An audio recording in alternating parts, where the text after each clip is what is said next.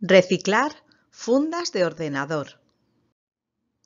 Nosotros cogemos las fundas de ordenador para reciclarlas. Nosotros las pintamos con pinturas de colores. Nosotros cogemos goma eva.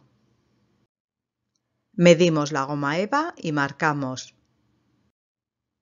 Cortamos la goma eva. Doblamos la goma eva para meterla en la funda. Nosotros elegimos una goma eva para cada funda. Nosotros metemos la goma eva en la funda. Pegamos la goma eva a la funda. Nosotros pegamos el velcro y ya podemos guardar el ordenador. Agur.